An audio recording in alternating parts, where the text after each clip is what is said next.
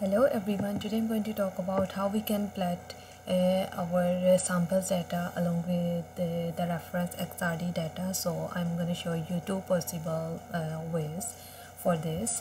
And uh, first of all, I have copied uh, my reference XRD data and uh, the data of my samples in the origin so you have to set the proper x and y axis here. So it's the x-axis of my reference. I have to make it the x-axis of my sample. So select it and make it x-axis then select all the data.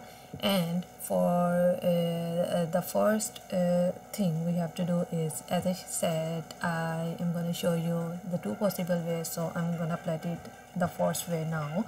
So go in this option and you have to select stack lines by y offset.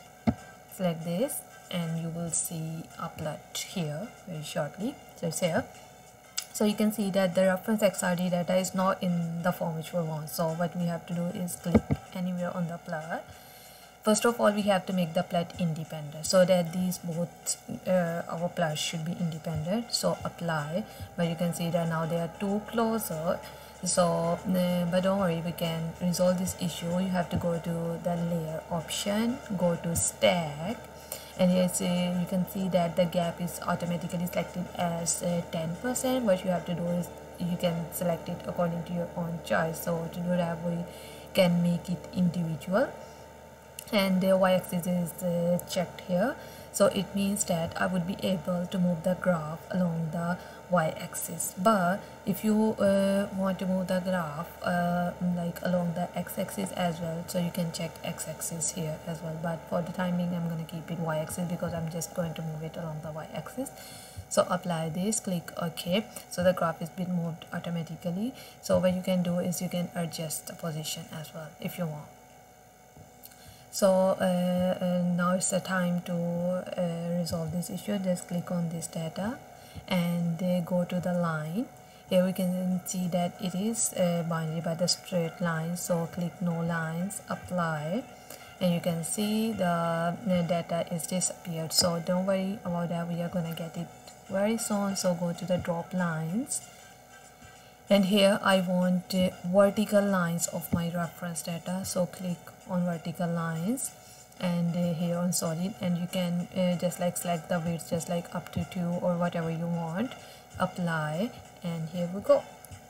We got our reference data in this form and we can just like overlap our samples data with the reference data just to make sure about the peaks and the peak position and each and everything or you can position it anywhere according to your choice. So uh, it's the first way to do this. Another way is there for this one. You have to go again to the data.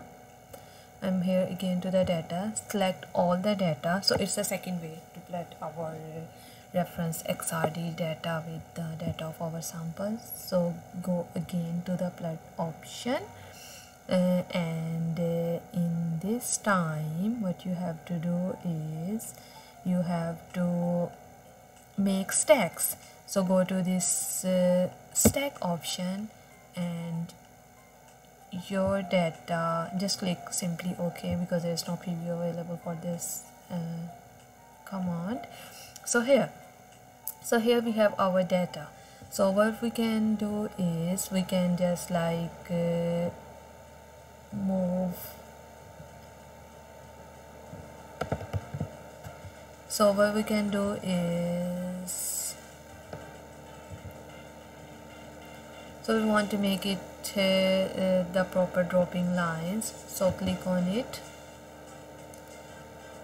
Again uh, uh again we can uh, repeat the same as we did for the our previous uh, plot but there is an easy way to do that rather than going through the long procedure so what you can do is select this and come here and make it scatter now that it is scattered and click anywhere on this scattered plot like anywhere here on this scattered plot so you can see that it's the point.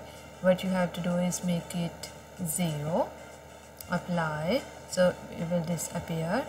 Uh, again do the same go to drop lines go to vertical and I'm to make it you apply and here. Here you got your reference xrd data and is the data of your sample.